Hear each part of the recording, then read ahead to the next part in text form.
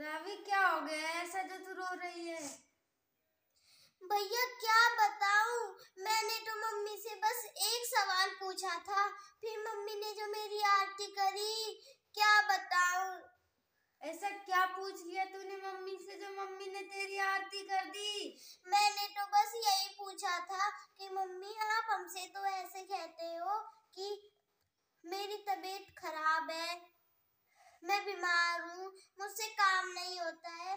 फिर जब आप पापा पे गुस्सा करना हो या हम दोनों की पिटाई करनी हो, जब आप में सुपरमैन वाली पावर किधर से आ जाती है?